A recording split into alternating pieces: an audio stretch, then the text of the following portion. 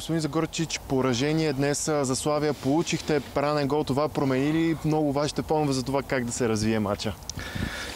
Еми да, може би кога си погледнем нали, много ранен гол, али и днес излезохме с един състав, нали, просто да видим това с което си разполагаме нали, от школата и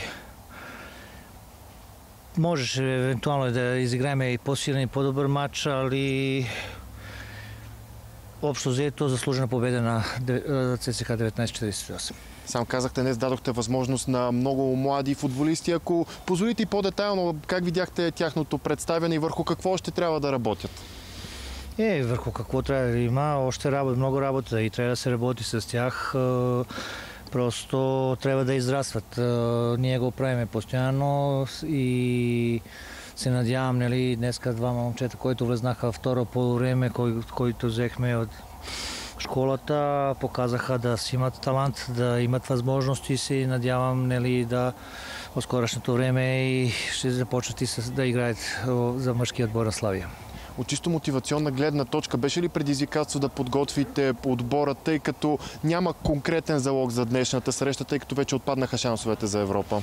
Е, ние се опитвахме днес да си спечелиме матча. Просто не се получаваха нещата трудно. Е, нали, с едно, едно, едни футболист, кога излизаш на терена и искаш да го правиш това, което си го правил с по-опитните и така нататък и титулярните футболистите да очакваш от тях, ще се получат нещата веднага в първия матч.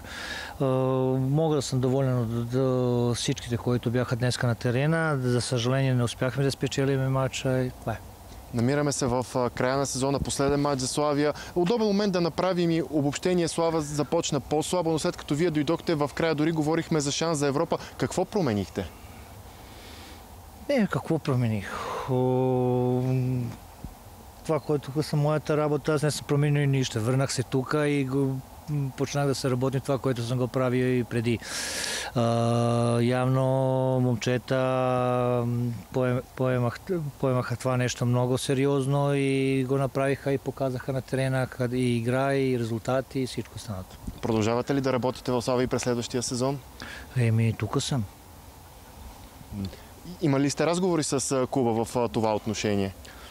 Да, преди малко си говорихме в с президента и с директора, говорихме си нали, за лагера, който трябва да имаме в Банско и по принцип това ще видим от тия по-малките нали, какво ще правим с тях. Благодаря ви, успех! Благодаря на вас.